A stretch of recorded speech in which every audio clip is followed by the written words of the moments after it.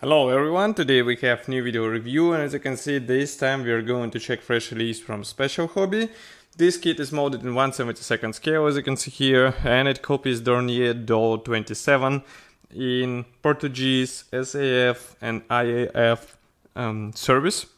And obviously this kit is uh, featuring the same plastic which we saw in previous two boxings which we reviewed on our YouTube channel and our website. You can find the reviews easily, just type Dornier 27 and you will see them. But here as you can see we have Israeli, Portuguese and also South African Air Force um, marking options for this nice small aircraft. Uh, this plastic is relatively new, I would say, so it was presented uh, last year already, 2018, but still it is quite nice plastic and we are going to open it and to check what is hidden inside right now.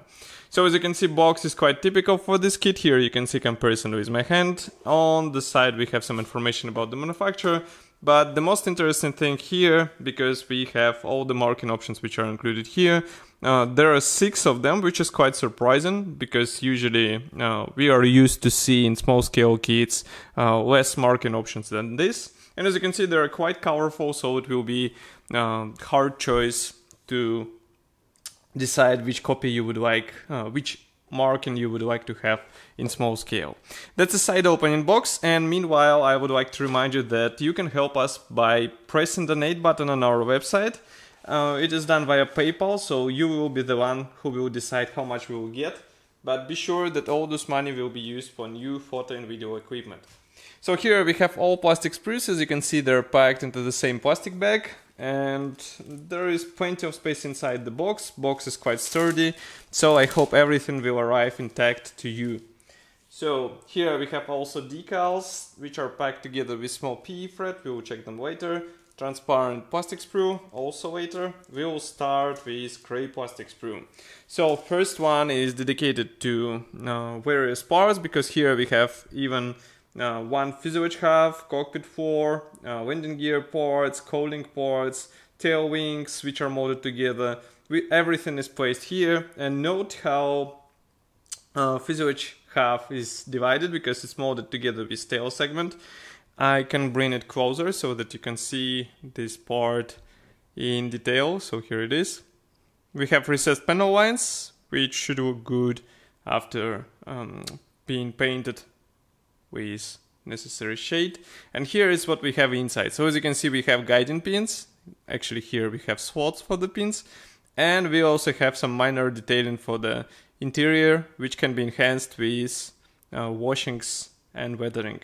Here you can see that we also have position pins on the cowling panels, which is quite nice. Uh, tail wing is molded as one piece part, so you won't have to deal with any separate halves and actually you get the right alignment out of the box because as you can see they're connected and here you can see cockpit floor which looks quite simple but it will be upgraded with separately molded plastic parts. Now we can move on to the next plastic sprue. This one is smaller because it features landing gear parts. As you can see there are several types but obviously we will use only one out of those and again, molding quality is really nice. All those wheels are molded as one piece parts. Again, I will bring them closer so that you can see what I'm talking about. So here they are. You can see here, for example, comparison with my fingertip. And on the other side, we have quite nice molding quality. Even the brake calipers are replicated. So I think it should look good after careful painting. Here you can see that landing gear legs have special uh, guiding elements, which will also be useful um, during installation because you will get the right alignment straight away without any problems.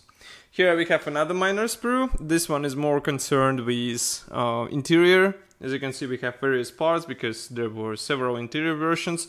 I'm not sure if this kit will actually let you uh, build several or choose out of several um, interior options, but let's bring closer this part so that you can see what we have here. So we have here uh, several options for the rear seats. Also here you can see pilot seats and also pedals, dashboards.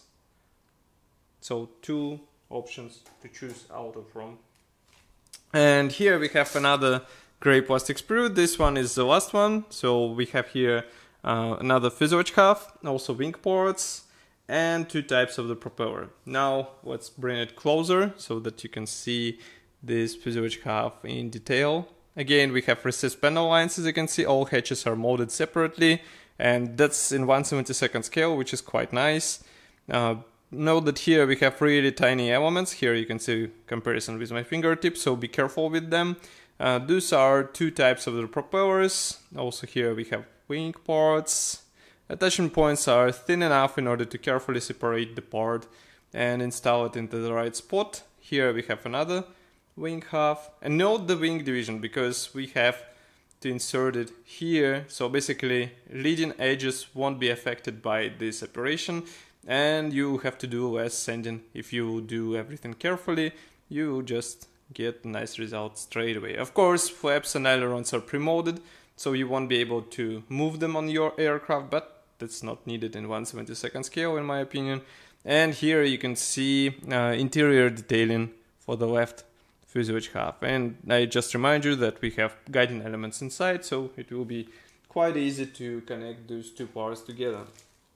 And then we have a clear plastic sprue, which is packed into the separate plastic bag. This will help you avoid possible scratches on this important um, frame, let's say. And let's zoom in, focus the camera, and now you can see that here we have all necessary clear parts for this tiny aircraft. As you remember, hatches were molded separately, so you will be able to open them if you would like to, and the same can be said about the frontal section. Uh, the only thing which is, um, let's say, typical for this kit is that masks are not included, so you have to search for them or cut them with your own hands. Uh, next we have another plastic bag this one is dedicated to decals as you remember and also small P fret. So again I'm going to open it and we'll check everything closer. Just give me a second. So here is the decal sheet which is printed in Cartograf. So we have really nice printing quality. We also have decal for the dashboard and full range of the stencils. As far as you can see, we don't have seat belts here, but at least we have this spiral for the uh, propeller hub and I can even bring those decals closer so that you can see how good they are. I mean, this is really sharp printing quality and I like it. I mean, here you can see, for example, stencils. These are really small symbols, but they're carefully printed. There are no visible problems with them. And next, we have also small P fret. Here it is. Of course, it is unpainted and here we have mix of external and internal parts, which will be handy for fine detailing of your small Dornier. And last but not the least is this assembly manual, which is printed in form of a small brochure. As you can see here, we have um, short history note in Czech and English on the first page. Then on the next pages we have parts map. Note that some parts won't be used, so you can get them into your spare parts. Paints chart here in Gunze numbers, by the way. Assembly process starts with cockpit.